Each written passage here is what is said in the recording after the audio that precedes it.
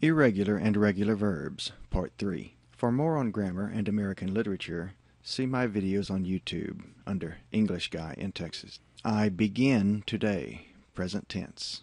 I began yesterday, past tense. I have begun already, past participle. I break camp today, present tense. I broke camp yesterday, past tense.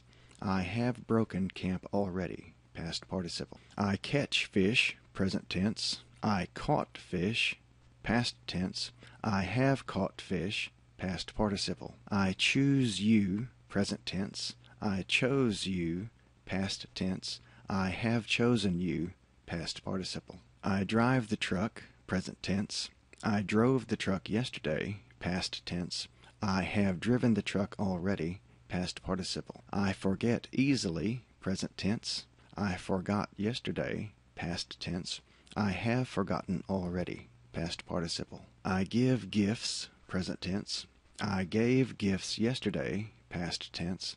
I have given gifts already, past participle. I go to town, present tense. I went to town yesterday, past tense. I have gone to town already, past participle. I grow flowers, present tense. I grew flowers last year, past tense. I have grown flowers in the past, past participle. I hide cookies, present tense. I hid cookies yesterday, past tense. I have hidden cookies already, past participle.